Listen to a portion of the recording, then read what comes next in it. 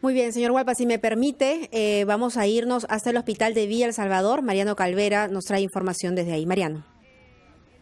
¿Cómo estás, Mabel? Buenos días, directo en directo. Continuamos a la expectativa de la evolución médica de la salud de los eh, pacientes, eh, las víctimas de este y de esta explosión en Villa El Salvador. Todavía hay muchos familiares a la espera de noticias de sus familiares. Te comento, Mabel, que hace unos minutos nada más eh, llegó un sacerdote enviado del Monseñor Castillo Matasoglio e indicó que se le había enviado para darle soporte emocional a la familia. Vamos a escuchar lo que dijo a su ingreso al Hospital de Emergencias de Villa El Salvador.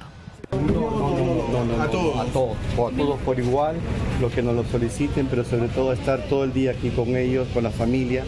Monseñor está muy, muy preocupado por ellos. Inmediatamente nos ha llamado a todos los sacerdotes que estemos a disposición de los heridos y de las familias también.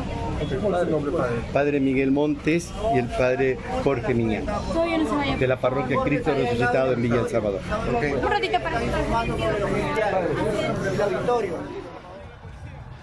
son eh, sacerdotes de una parroquia cercana a Mabel. Te comento que en este momento están ingresando dos ambulancias al Parque Zonal Huáscar, que está frente al Hospital de Emergencia de Villa El Salvador, porque hace unos minutos aterrizó un helicóptero de la Policía Nacional. Ya lo habían anunciado así, que se iban a utilizar estos vehículos para trasladar a los pacientes a, a los hospitales para la referencia respectiva. Hace aproximadamente unos 15 minutos salieron dos ambulancias e ingresaron a este este centro zonal y en este momento están ingresando dos más. El helicóptero está en el interior, hace aproximadamente una media hora se encuentra allí y este van a utilizar este medio de transporte para realizar este traslado con mayor rapidez. Mabel, directo en directo RPP Noticias. Muchísimas gracias Mariano por la información. También queremos agradecer